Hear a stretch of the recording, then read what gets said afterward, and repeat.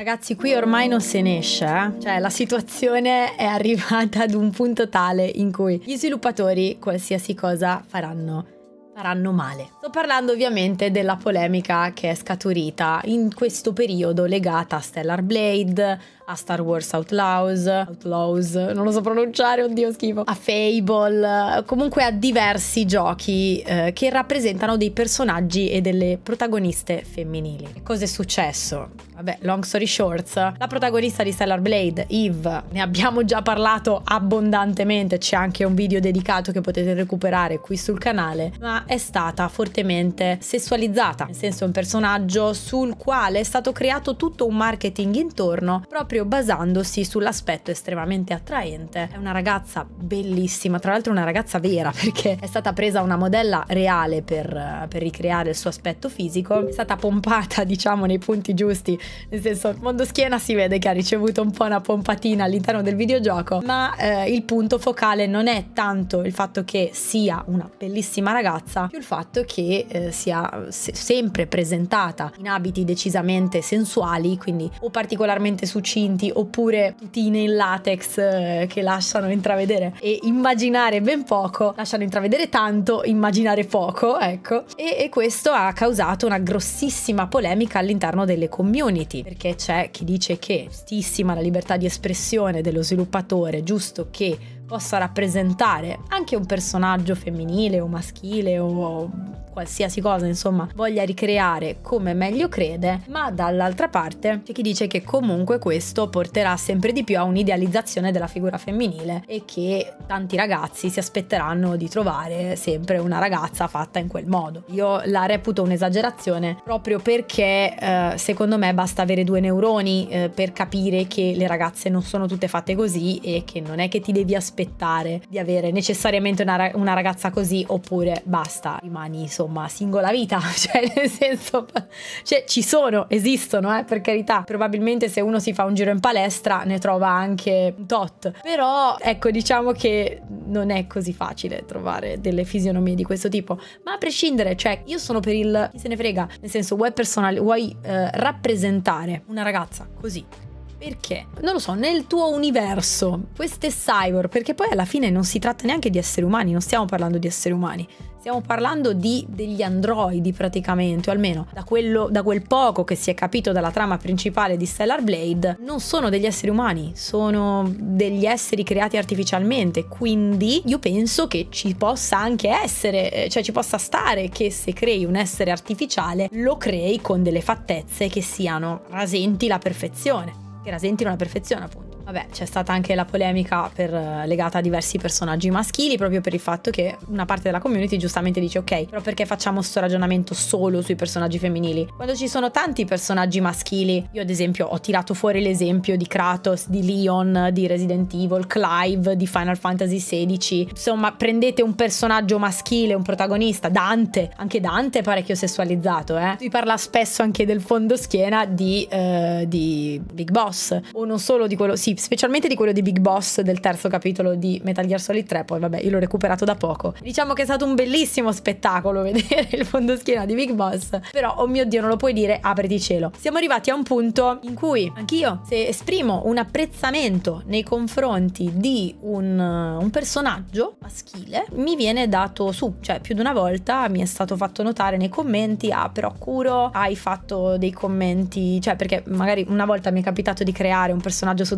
Dragon's Dogma 2 ho creato un figo pazzesco, veramente bellissimo. E mi sono lasciata andare a commenti del tipo: Mio Dio, quanto è figo, che bello, che, che sono, sono, stata bellissima, cioè sono stata fortissima a crearlo così figo. Eh, ieri, quando ho detto che volevo creare il turbo fregno, non sapevo in che cosa vi stavo imbattendo. E da lì eh, c'è stata un po' di polemica nei commenti. C'è ogni tanto qualcuno che mi ha fatto notare, mi ha detto: Eh, però, curo, se qualcuno avesse, se un uomo avesse creato un personaggio femminile, avesse detto le stesse cose che hai detto tu su quel personaggio maschile, oh mio Dio, apriti cielo. Io, ragazzi, boh, sarà nel senso, io non avrei nemmeno nemmeno detto nulla di questo tipo a nessun ragazzo che, uh, che, poteva fare commenti su un personaggio fittizio. Cioè si parla di personaggi di fantasia, si parla di personaggi ideali che noi possiamo ricreare, che poi non necessariamente rappresentano il nostro ideale di bellezza, è eh, semplicemente magari in quel momento ci andava di creare un personaggio simile. Perché poi quando creiamo i personaggi nel character creation, sempre li facciamo fighi?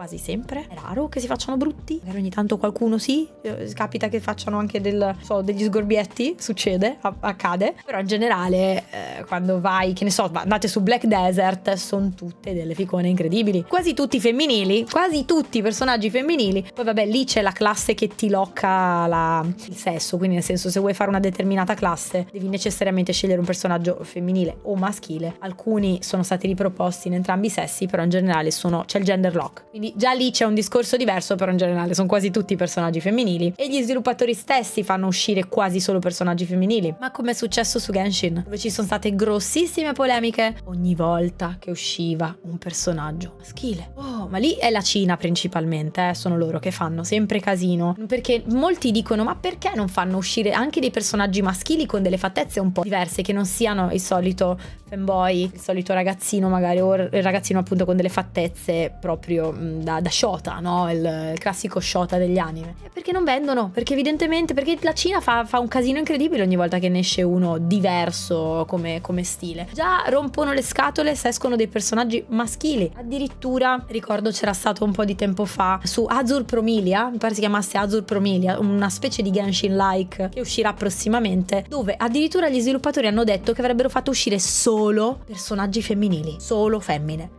Perché anche lì la community ha rotto le scatole dicendo noi personaggi maschili non li vogliamo, vogliamo solo le femmine nei gacha. Io sono sconvolta ragazzi. Adesso vabbè, eh, torniamo a parlare della polemica perché sto un attimo divagando, ma appunto la contrapposizione è tra Stellar Blade dove c'è appunto Eve che è questo personaggio bellissimo, incredibile, super sessualizzato perché lo è, cioè è innegabile che sia strasexy, lo è, e dall'altra parte abbiamo invece alcuni protagonisti, eh, femmi- alcune protagoniste femminili, ad esempio come quella che si è intravista nel trailer di Fable, che non è particolarmente avvenente, mentre la modella lo era. Ci hanno proprio fatto vedere le foto della modella che è stata presa per fare il modello della protagonista di, di Fable, che è una bellissima ragazza, ed effettivamente è stata resa più bruttina nel, nel videogioco, che poi più bruttina. La bellezza è una cosa abbastanza soggettiva, io dico sempre che capita a volte che magari, non so, vedi una persona, magari non ti ispira, non ti dice niente di che fisicamente, poi ci parli,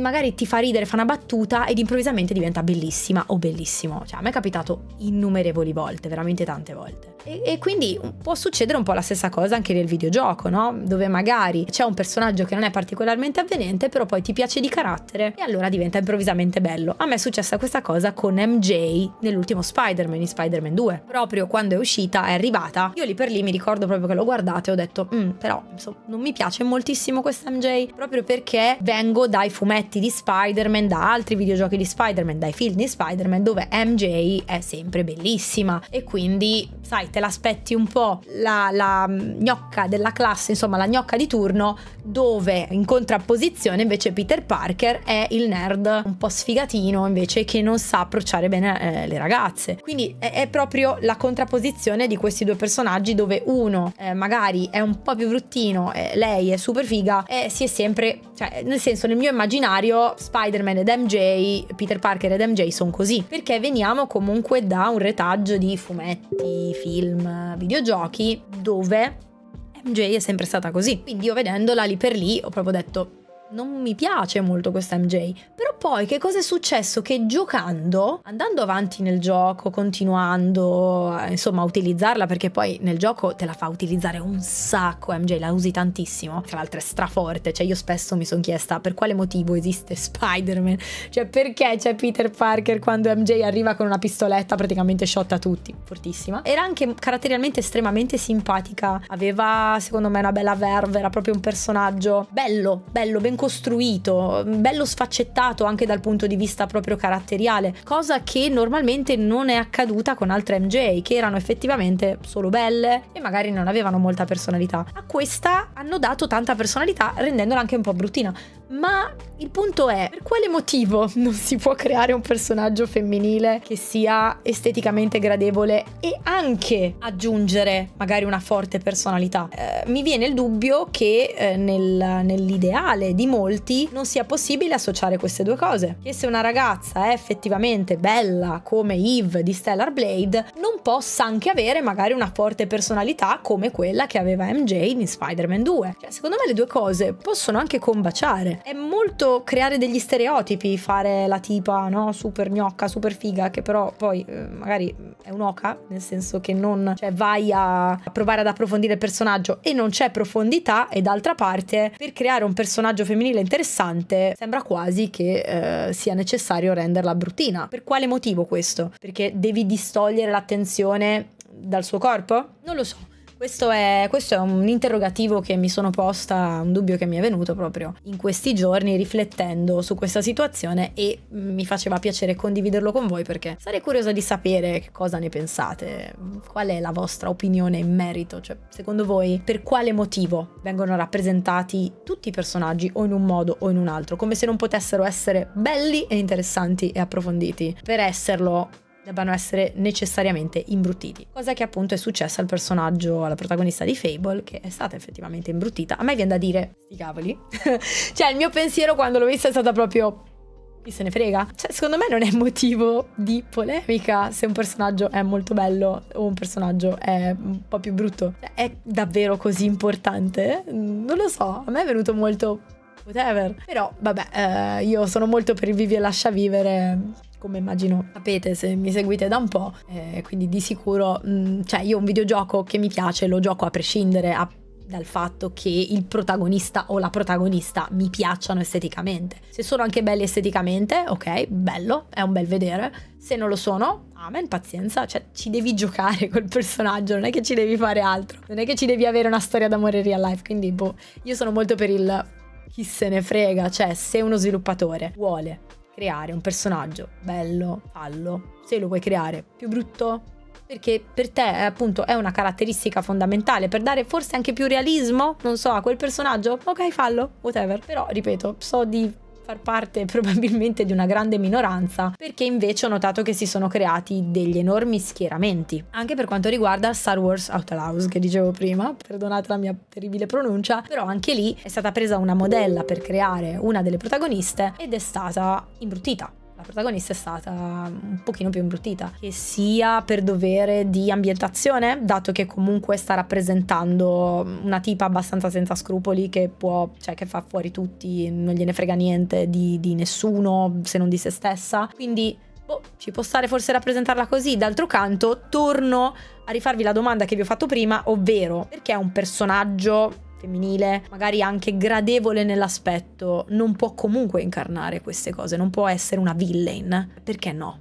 Non può essere bella e stronza? Secondo me sì, può esserlo tranquillamente. Quindi boh, non, non, trovo, ecco, non trovo necessario né abbellire particolarmente i personaggi in game, come non trovo necessario imbruttirli. Ma ripeto, è una scelta totale che deve avere per me lo sviluppatore se l'art director, il, gli sviluppatori insieme decidono di fare un personaggio così, per me va bene così. Io non, non creerei polemica inutile e sterile. Che poi, anche qui, ci sarebbe da aprire una parentesi perché in realtà grossa parte della virgolette virgolette community che si sta lamentando per Stellar Braid e al contrario si sta lamentando per Fable non sono nemmeno persone che giocano ai videogiochi. È così. è fattuale. Come è stato al tempo per Hogwarts Legacy? Grossissima parte della polemica creata dietro Hogwarts Legacy veniva da persone che non avrebbero comunque giocato al gioco. Veniva da persone che fanno parte non di community di gaming. E, quindi è, è questo che, che, mi causa sempre un po' di, di, di dubbi, di, di, domande, perché dico, ma per quale motivo uh, persone che nemmeno si interessano a quel medium, quindi adesso in questo caso parliamo del gaming, del videogioco, sentono la necessità di creare questi spartiacque, queste divisioni, queste polemiche dietro a giochi che nemmeno avrebbero giocato, dietro a giochi che nemmeno sarebbero risultati interessanti probabilmente per loro. Perché poi Stellar Blade, è abbastanza particolare come tipologia di gioco, secondo me tutto questo scalpore comunque che si è creato, questo marketing dietro alla sexagine di Eve ha dato sicuramente molto risalto al gioco perché l'ha fatto conoscere in tutto il mondo. Cioè, adesso se uno dice Stellar Blade, tu subito sai di che cosa sta parlando. Ovvio, se mastichi un po' di, di gaming, nel senso se ti informi, se sei una persona che eh, va a ricercare online le ultime notizie riguardo ai videogiochi, sai subito che cos'è. Probabilmente non ci fosse stato dietro questo marketing aggressivo sul personaggio di Eve,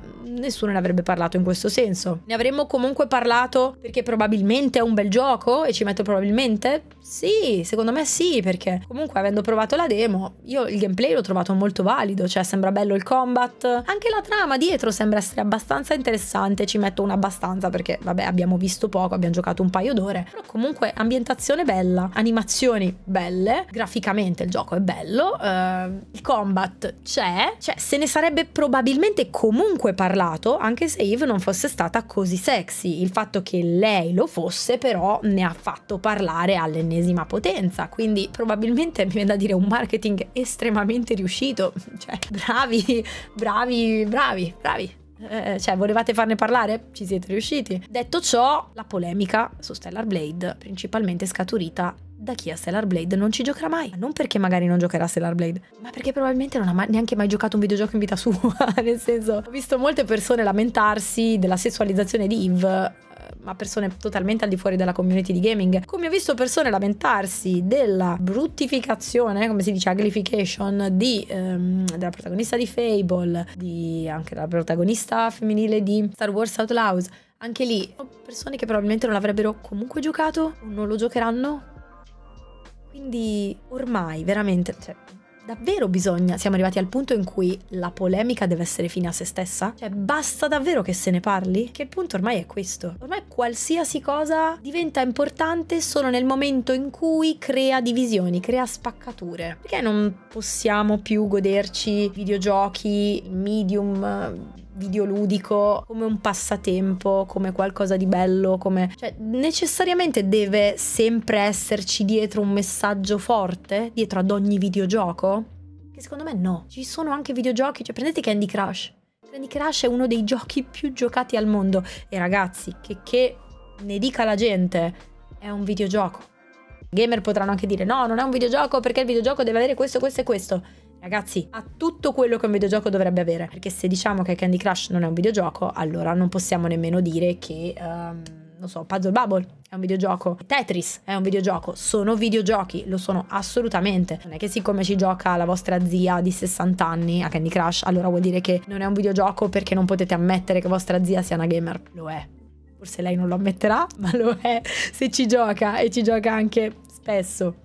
Quindi Ecco, il punto mio è, non tutti i videogiochi secondo me devono comunque trasmettere un messaggio forte, impattante, sociale, politico. Alcuni possono essere anche solo un passatempo. Potevano essere, cioè Stellar Blade poteva essere creato anche senza un personaggio così sexy? Assolutamente sì.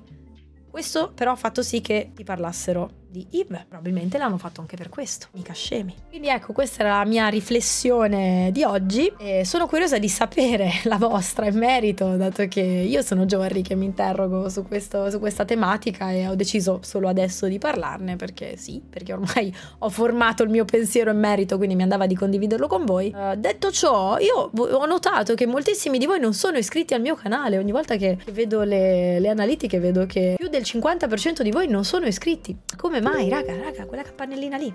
Attivate iscrizione, campanellino. Dai, che comunque si parla sempre di cose che interessano a voi quanto a me. Alla fine siamo videogiocatori, quindi mi fa piacere anche confrontarmi con voi su queste cose. E dato che comunque YouTube non sempre spinge alcune tipologie di video, specialmente mm, per persone magari come me che utilizzano YouTube comunque per fare solo alcuni tipi di contenuti più virati sul, sulle news o sull'opinionismo, ecco, magari campanellina, grazie, così non vi perdete i video. E dato che insomma ci sono sempre degli update e parliamo sempre di cose che secondo me vi interessano. Spero che sia così. Detto ciò, vi ringrazio per aver visto il video, fatemi sapere la vostra assolutamente per quanto riguarda questa inutile, sterile polemica e vi mando un bacio. A presto!